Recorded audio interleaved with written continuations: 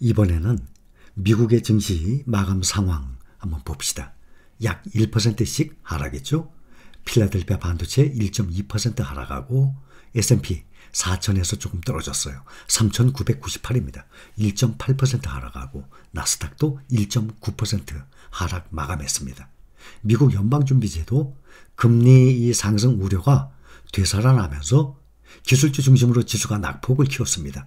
예상보다 탄탄한 미국의 경제 지표, 경제 지표가 예상보다 탄탄하게 나오면 좋아야 되지 않습니까? 근데 지금은 이 호재가 악재가 되는 아, 상황이에요. 뉴욕 증시가 오히려 실망감을 나타낸 상태입니다. 앞으로 연방주 준비 제도가 금리를 더 올릴 것이라는 이런 공포가 시장을 눌렀어요. 금리 인상 이 속도 조절을 공식화했죠. 파월 연준 의장이 지난주 연설에 힘입어서 상승 랠리를 펼쳤습니다. 그런데 생각보다 강한 미국의 경제 지표가 계속 나오니까 통화 긴축 지속 가능성을 높일 거리라는 이 두려움에 한발 물러서는 상태입니다. 월스트리트 저널지는 연준이 노동시장 과열 때문에 내년에도 예상보다 공격적인 금리 인상에 나설 가능성이 있다라고 보고 있고 내년 2월에 빅스텝 가능성까지 또 제기하고 있습니다. 투자 심리가 그러니까 더 꺾이게 되죠. 예상을 웃도는 이 경제 지표들이 쏟아지면서 연방준비제도의 긴축 공포가 점점 커지고 있습니다. 그래서 국채금리 간밤에도 급등을 했죠. 연준은 다음 달에 이어서 내년 2월까지 또 빅스텝을 밟을 것이라는 관측이 나오고 있습니다. 며칠 전에 시장 전망치를 크게 상회한 11월 고용지표 이거에 이어서 또 오전에 발표된 두개 다른 지표가 이런 분위기에 기름을 부은 상태예요.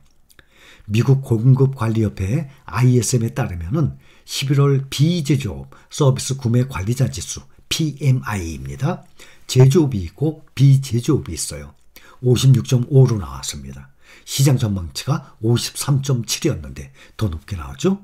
10월에 54.4까지 넘어섰어요. 상당폭으로 56.5. 이것은 제조업, 비제조업 PMI는 17개의 산업군의 약 400명의 회사의 구매 관리자를 대상으로 설문을 진행을 합니다. 그래서 이것을 지수화하는 거예요. 미국 전체 경제 약 80% 비제조업 분야가 차지하고 있어요. 제조업보다는 영향력이 높아지고 있습니다. 제조업 구매자 이 지수와 함께 살펴봐야 될 경제 지표입니다. 일반적으로 이 PMI가 50을 기준으로 50을 하회한다.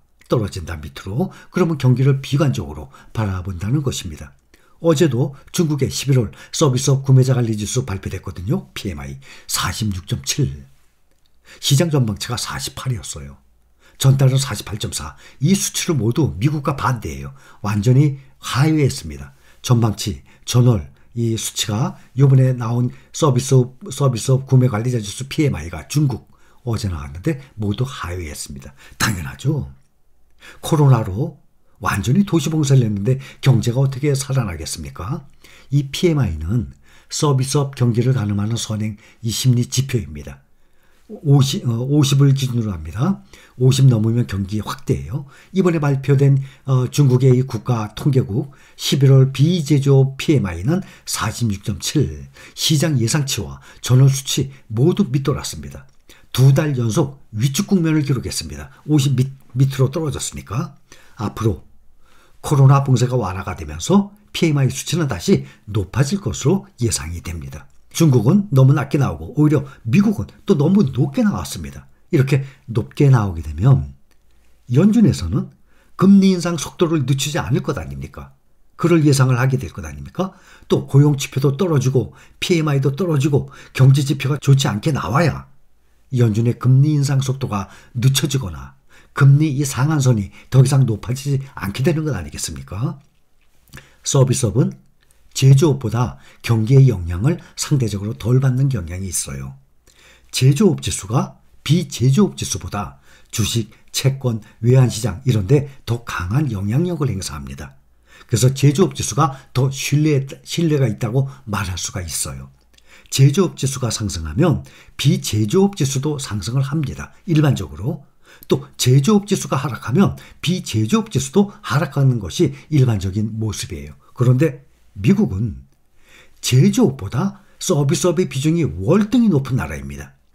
기업의 구매 담당자를 이 대상으로 신규 주문, 생산, 재고 이런 거를 설문을 통해서 어, 조사를 하는 거예요. 이것이 바로 PMI, 즉 구매 관리자 지수예요. 그러니까 이것을 좀 더 깊이 알고 그러면 또 복잡하겠죠.